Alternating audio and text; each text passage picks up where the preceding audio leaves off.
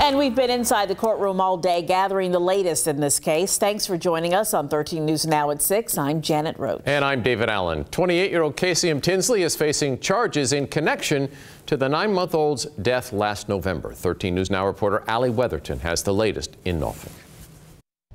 Kasiam Tinsley's attorney, Melinda Seymour, says her client is standing by his innocence. He claims every time I go to see him that nothing has happened. He doesn't understand why he's there. Tinsley is charged with second degree murder in the death of his nine month old daughter, Michaela. The assistant medical examiner testified in court today, saying the baby died of blunt force trauma to the head.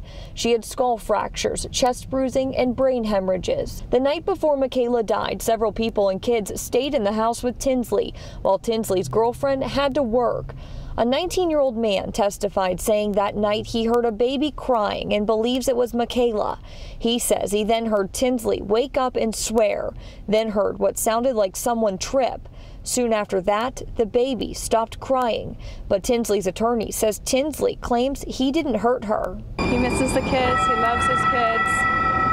He wants to be home with his kids. When Tinsley's girlfriend got home from work the next morning, she found the baby with bruising on her face, cold, and not breathing.